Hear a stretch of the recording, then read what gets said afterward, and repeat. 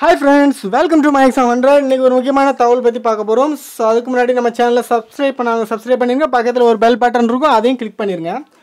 So இது மொத்தம் ஆறு இப்போ வேகன்சி இருக்குது. வேலை இடம் சென்னையில் தான் வேலை.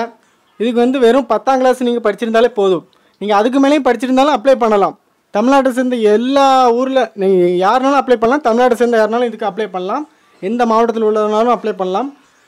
வெறும் டென்த்து மட்டும் போதும். இதுக்கு முன்னாடி வந்து ஒரு வீடியோ போட்டிருந்தேன். அதில் வந்து டென்த்து ப்ளஸ் லைசன்ஸ் தேவைப்படும்னு சொல்லியிருந்தேன். இதுக்கு வந்து நீங்கள் லைசன்ஸ் கூட தேவையில்ல.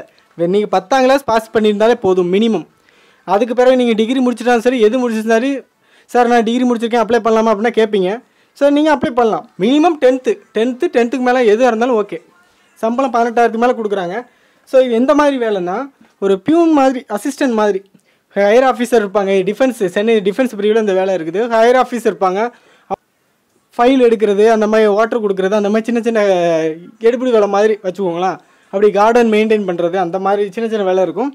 ஸோ வேலை வந்து தரம் கம்மி ஆனால் இதோட ம இது க அதிகம். ஏன்னா இது காலானா காசுனாலும் கவர்மெண்ட் காசுங்கிறது ஒரு ரொம்ப முக்கியம். ஸோ இது பதினெட்டாயிரம் சம்பளம் கொடுக்குறாங்க. அது மட்டும் இல்லாமல் இன்சென்டிவ் கொடுக்குறாங்க. அது மட்டும் இல்லாமல் இது வந்து ஒரு நல்ல வ- வேலைவாய்ப்பு. ஓகே ஸோ இந்த ரொம்ப கீழ்த்தரமான வேலைன்னு நினைக்கக்கூடாது.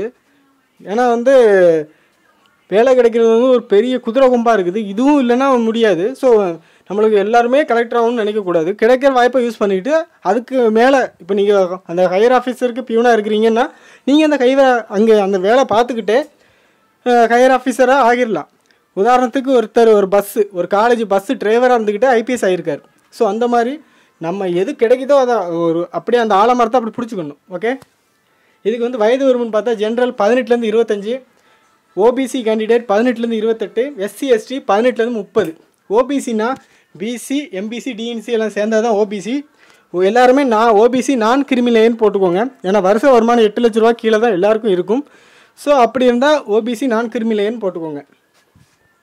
ஓபிசி கிரிமிலேயர் நான் கிரிமிலேயர் ரெண்டும் இருக்கும். அதில் வந்து நான் கிரிமிலேயர் தான் எல்லாத்துக்கும் காமனாக போடுறது.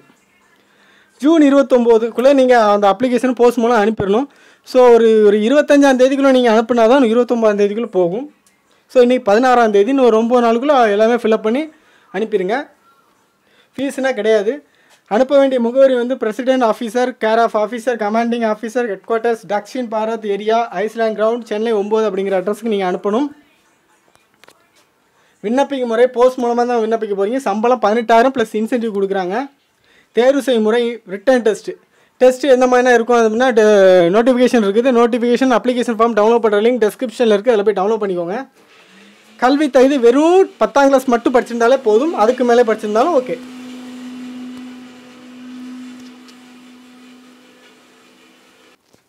ஸோ ஃபைனலாக ஒரு சின்ன அட்வைஸ் அப்ளிகேஷன் எல்லாமே டெஸ்கிரிப்ஷனில் டவுன்லோட் பண்ணிடுவீங்க. டவுன்லோட் பண்ணிக்கோங்க.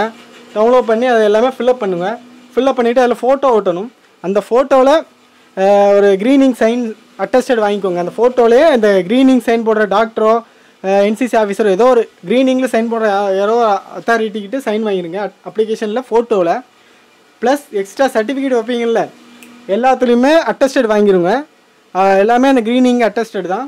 சர்டிஃபிகேட்னா என்னென்ன வைப்பீங்கன்னா உங்கள் கம்யூனிட்டி சர்டிஃபிகேட் வைப்பீங்க ப்ரையாரிட்டி சர்டிஃபிகேட் வைப்பீங்க எஜுகேஷன் சர்டிஃபிகேட் டென்த்து சர்டிஃபிகேட் வைப்பீங்க. ஸோ எக்ஸ்ட்ரா உங்களுக்கு குவாலிஃபிகேஷன் அந்த சர்டிஃபிகேட் வைங்க. நோ ப்ராப்ளம் ஹை குவாலிஃபிகேஷன் உங்களை ரிஜெக்டாக பண்ண மாட்டாங்க. ஏன்னா இது எக்ஸாம் தான். அதனால் இது ப்ராப்ளம் இல்லை. So education certificate communication certificate date of birth certificate date of birth சர்டிஃபிகேட்னா ஏதாட்டும் பர்த் சர்டிஃபிகேட் ஆதார் கார்டு அந்த மாதிரி ஏதாட்டும் ஒன்று வச்சுக்கலாம். ஸோ செல்ஃப் அட்ரஸ்ட் என் ஓகே அப்ளிகேஷன் ஃபார்ம் வித் ஃபோட்டோவில் ஒட்டி அந்த ஃபோட்டோவில் அட்டஸ்டட் வாங்கிடுங்க என்னென்ன சர்டிஃபிகேட்னா ஜெராக்ஸ்னால் வைக்கிறீங்களோ அதிலலாம் அட்டஸ்டட் வாங்கிக்கோங்க. செல்ஃப் அட்ரஸ் என்வலாப் அப்படின்னா ஒரு ரெண்டு சின்ன சம்பள கவர் ஒரு சம்பள கவர்னால் எல்லோரும் தெரிஞ்சிருக்கும். ஒரு ப்ரௌன் கலரில் ஒரு கவர் மாதிரி இருக்கும். இல்லை லெட்டர் வைக்கிற மாதிரி இருக்கும். ஸோ அந்த கவர் எல்லோரும் வாங்கிக்கோங்க. ஒரு ரூபா இல்லை ரெண்டு ரூபா இருக்கும். ஸோ அந்த சம்பள கவர் ரெண்டு வாங்கிக்கோங்க. ரெண்டுத்துலேயும் அஞ்சு அஞ்சு ரூபா ஸ்டாம்ப் ஒட்டிக்கோங்க. அதில் டூன்னு போட்டு உங்கள் அட்ரஸ் உங்களோட வீட்டு அட்ரஸ் எழுதிருங்க. ஓகே அந்த உங்களோட வீட்டு அட்ரஸ் அந்த ரெண்டு என்வலாப்லேயும் உங்களோட வீட்டு அட்ரஸ் அஞ்சு ரூபா அஞ்சு ரூபா ஸ்டாம்ப் ஒட்டி உள்ளே போட்டுருங்க. எக்ஸ்ட்ரா ஒரு பாஸ்போர்ட் சைஸ் போட்டாலும் ஒரு சின்ன கவரில் வச்சு உள்ளே போட்டுருங்க. எதுக்குள்ளே போடணும்னா ஒரு பெரிய ஏ ஃபோர் சீட்டு கவர் வாங்கிக்கோங்க. அது நாலு ரூபா இருக்கும். அது கூட அந்த அப்ளிகேஷன் ப்ளஸ் இந்த சர்டிஃபிகேட் அப்ளிகேஷன் சர்டிஃபிகேட்டும் ஒன்றா ஸ்டாப்லர் போட்டுக்கோங்க. அதான் அந்த பெரிய கவரில் வைங்க. ப்ளஸ் செல்ஃப் அட்ரஸ்ட் ரெண்டு இருக்குது அதையும் உள்ளத்துக்கு போடுங்க. ஒரு பாஸ்போர்ட் சைஸ் போட்டால் ஒரு கவரில் வச்சு அதையும் உள்ளத்துக்கு போடுங்க. மொத்தமாக பின் பண்ணி அட்ரஸ் அனுப்ப வேண்டிய அட்ரஸ் அதுக்கு அனுப்பி நீங்கள் வந்து விண்ணப்பிச்சுக்கலாம். அவ்வளோதான் உங்கள் வேலை. இதுக்கு நீங்கள் செலவு பண்ணுறதுன்னு பார்த்தீங்கன்னா மிஞ்சி மிஞ்சி போனால் ஒரு முப்பது ரூபாக்குள்ளே உங்களுக்கு முடிஞ்சிடும் ஸோ ஆறு வேக்கன்சி தான் இருக்குது நான் திரும்ப திரும்ப எல்லாருக்கும் சொல்கிறது தான் ஆறு வேக்கன்சி இருக்குன்னு பார்க்கக்கூடாது. ஆறில் நாமளும் ஒருத்தர். தமிழ்நாட்டு ஜாப்னா இந்நேரத்துக்கு அது ஆறு வேக்கன்சி உங்களுக்கே தெரியும். அது எப்படி போயிருக்குன்னு ஸோ இது சென்ட்ரல் கவர்மெண்ட் ஜாப் அப்படிங்கிறனால கொஞ்சம் நம்பலாம். ஸோ எல்லாருமே நம்பிக்கையோட ஒரு முப்பது ரூபா நீங்கள் வீணாக தான் செலவு பண்ணுவீங்க. முப்பது ரூபா. ஸோ இந்த மாதிரி ஒவ்வொரு அப்ளிகேஷன் இந்த மாதிரி சின்ன சின்ன இது முப்பது ரூபா செலவு பண்ணி ரிஜிஸ்டர் போஸ்ட் அனுப்புங்க. ஸோ நீங்கள் போஸ்ட் அனுப்புறதுக்கு மட்டும் தான் உங்களுக்கு செலவு. மற்றபடி எதுவுமே இல்லை. இந்த வீடியோ பிடிச்சிருந்தா லைக் பண்ணுங்கள் ஷேர் பண்ணுங்கள் சப்ஸ்கிரைப் பண்ணுங்கள் எதுவும் டவுட் இருந்தால் கமெண்ட்டில் கேளுங்க.